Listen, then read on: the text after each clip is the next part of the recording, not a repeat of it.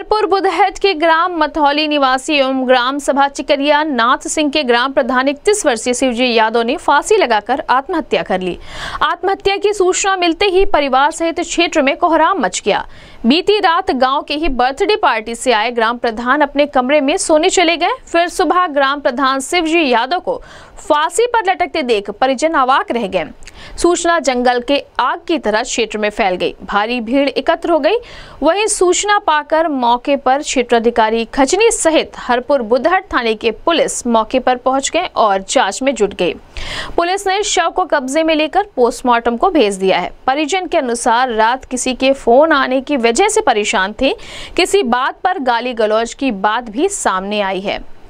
फ़िलहाल हरपुर बुधहट पुलिस मृतक ग्राम प्रधान शिवजी यादव के मोबाइल को अपने कब्जे में लेकर जाँच में जुट गई है। मिली जानकारी के अनुसार हरपुर बुधहट थाना क्षेत्र के ग्राम सभा मथौली निवासी शिवजी यादव ग्राम प्रधान चिकरिया नाथ सिंह बीती रात किसी बात को लेकर परेशान थे।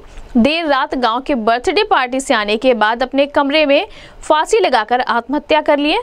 सुबह देर तक न उठने के बाद परिवार को चिंता हुई। बाहर रोशनदान से देखा तो कुंडी से लटकते शव को देख कोहराम मच गया।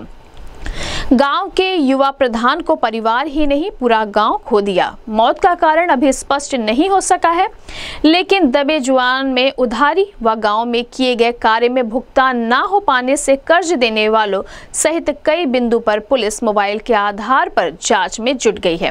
क्षेत्राधिकारी खजनी अनिल कुमार सिंह ने बताया कि ग्राम प्रधान मिलनसार व्यक्ति थे। ग्राम प्रधान शिवजी यादव चार भाई थे। एक भाई बैंकॉक दुबई और एक भाई डॉयल 112 में संत कबीर नगर में कार्यरत है।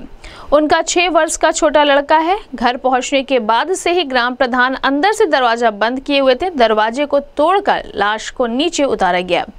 ग्राम प्रधान शिवजी यादव के शरीर पर कहीं भी किसी प्रकार के चोट, खरोच नहीं पाया गया है। किन कारणों से ग्राम प्रधान ने आत्महत्या किया है? यह जाँच का विषय है। जाँच होने के बाद ही पता चल पाएगा। फ़िलहाल हरपुर बुधहट थाने की पुलिस ने शव को पोस्टमार्टम के लिए भेजकर आगे की विधिक कार्रवाई में जुटी है।